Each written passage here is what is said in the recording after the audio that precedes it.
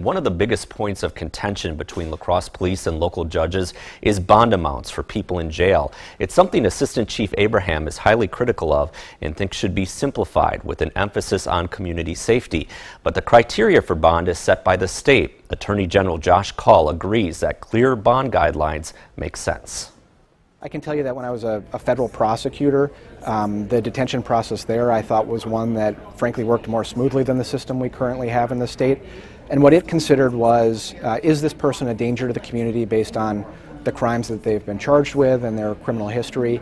And is the person a risk of flight? Those were the two considerations judges would look at. And if they were a danger or they were a risk of flight, uh, then the person was typically detained pending trial.